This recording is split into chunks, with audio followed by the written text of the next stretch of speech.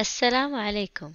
سأقوم الآن بإكمال شرح القوالب الثمانية الأخيرة من برنامج Finggage وسأبدأ من أيقونة Invitation. قوالب الإنفيتيشن أي الدعوات توفر لك الكثير من التصاميم لإرسال الدعوات حسب المناسبة المطلوبة. فعند الضغط عليها تظهر الأقسام الفرعية لهذه الأيقونة. فتبدأ بالهوليديز أي العطلات الرسمية. فنشاهد الكثير من القوالب التي تختص بالعطلات الرسمية.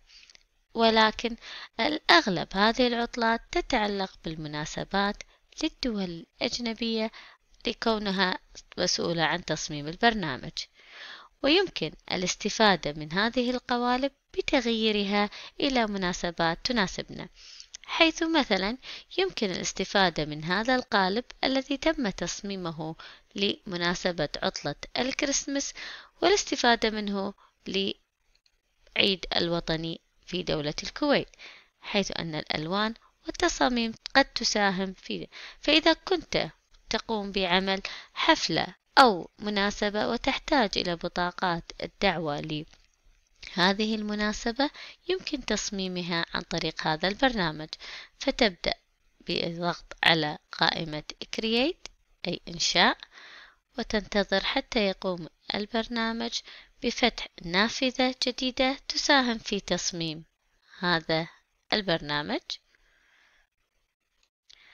وعند فتح هذه الصفحة نبدأ بتصميم ما نراه مناسبا حيث أن يمكن في البداية يوجد please join Vengage for our 7th annual أي ممكن الاستبدال هذه الجملة بجملة باللغة العربية حيث يمكن تغيير المحاذاة إلى اليمين وتكبير الخط والتحكم بالخط من خلال الأعلى. والتحكم باللون من خلال هذه الأيقونة وبالتالي تغيير كتابة وتحديد الكلام لتغييره إلى ما يناسبه فمثلا يمكن يسرنا دعوتكم لحضور الاحتفال بمناسبة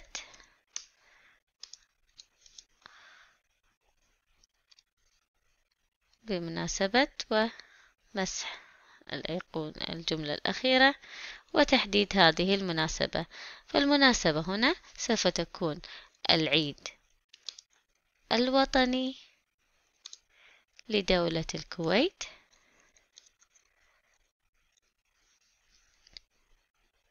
وبالتالي يتم التحكم بالخط من هنا. يتم تصغير الخط لجعله مناسبا لما سيتم تقديمه بهذا الشكل.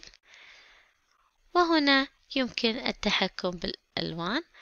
فحيث أن الألوان عند الضغط على أيقونة الألوان نشاهد أن الألوان جاهزة التي تم اختيارها من قبل فيتم تحديد الأحرف المراد تغييرها. مثلا ال باللون الأخضر والعيد بالأبيض يتم تركه باللون الأبيض وكلمة وحرف الدال باللون الأحمر وبالتالي يمكن الحصول على ألوان العيد الوطني اللي هو ألوان علم دولة الكويت والتحكم بالألوان بهذا الشكل. وأيضا يمكن التحكم بعرض الصفحة حيث أن لتظهر كاملة يمكن الضغط على هذه النسبة من مئة بالمئة نجعلها ثمانين بالمئة وبالتالي يمكن رؤية الصفحة بالكامل. أيضا في حال لا أود تعديل الكلام الموجود وإنما أريد إضافة كلام جديد آخر يختلف عن الموجود يمكن الضغط بهذا الشكل ثم الضغط على سلة المهملات لإلغاء الكلام. ومن ثم الذهاب إلى التكست هنا لدينا التكست. تظهر وتختار نوع الخط الذي تود إضافته فمثلا حتى يكون الخط بهذا الشكل هذا هو. إذا والتحكم باللون طبعا اللون يكون باللون الأبيض هو الأفضل. أيضا والتحكم بالمحاذاة وبنوع الخط. أيضا إذا كنت أريد تغيير نوع الخط إلى خط آخر يتم تغييره بهذا الشكل ومن ثم الطباعة بالكلام الذي نود يتم خلاله تحديد اليوم والوقت والزمن والمكان. وذلك اعتذر وذلك في يوم الأربعاء الموافق. سبعة وعشرين اثنين ألفين وتسعة عشر في تمام الساعة الثانية. عشر في حديقة كلية التربية. مثلا بهذا الشكل وتحديد المحاذاة أيضا تكون توسيط تكبير الخط بهذا الشكل. الكلام في اللغة الأجنبية بالأسفل لا نحتاجه فيتم إلغائه وأيضا التوقيع في الأسفل لا نحتاجه يتم إلغائه. وأيضا الخط يمكن إلغائه. يسر تحديد المكان كصياغة أفضل. يسر كلية التربية في جامعة الكويت بدعوتكم لحضور الاحتفال بمناسبة العيد الوطني بهذا الشكل. تعديل الكلام أغير المكان بالطريقة بقيت الصورة. الصورة ليست مناسبة يتم حذف الصورة والضغط على ال backspace والذهاب إلى photos طبعا عند الضغط على photos. photo search يتم كتابة بالشكل اللي سواء باللغة الإنجليزية أو باللغة العربية. فقمت بكتابة دولة الكويت في هذه الخانة فتظهر جميع الصور التي ممكن يوفرها لي هذا البرنامج. فلاحظت بأن أفضل صورة مثلا تم اختيار هذه البصمة. تم إضافتها بهذا الشكل. التحكم بحجمها ومقاسها. فيتم هذا هو بصمة الكويت. إذا أردت تثبيتها وعدم تحريكها والتأكد من عدم تحريكها يتم الضغط على رمز القفل الموجود وبذلك لا يمكن التحكم فيها وتحريكها. تظل ثابتة وأكمل ويتم إكمال التنسيق كما تراه مناسبا. ويمكن إضافة شعار جامعة الكويت مثلا. حيث أقوم بمسح كلمة دولة الكويت وكتابة شعار جامعة الكويت.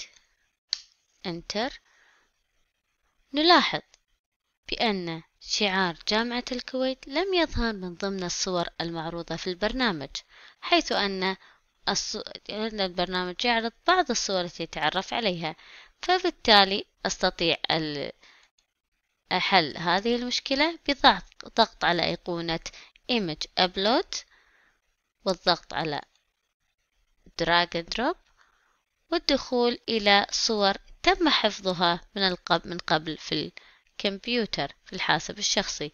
الضغط على أيقونة الصور الصور المحفوظة Saved Picture وهنا ظهرت صورة شعار جامعة الكويت.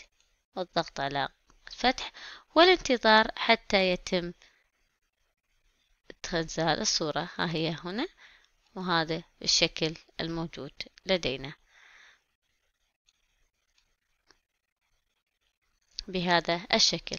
وأيضا يمكن التحكم بالخلفية الألوان الخلفية الموجودة لدينا وذلك عن طريق الضغط على الألوان.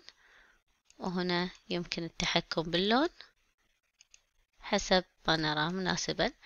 فإذا يمكن اختيار اللون الأبيض أو أي لون آخر. وأكثر لون مناسب لهذه المناسبة هو اللون الأسود. ليتناسق مع ألوان علم دولة الكويت.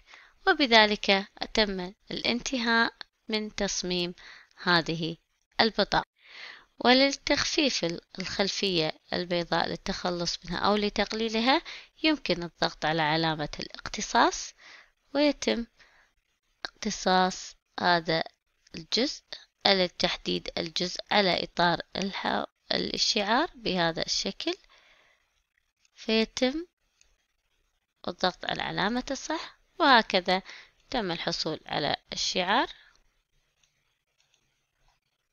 دولة شعار لاحظ أن لا يمكن تحريك هذه البصمة وهكذا تم الحصول على بطاقة الدعوة التي تم تصميمها.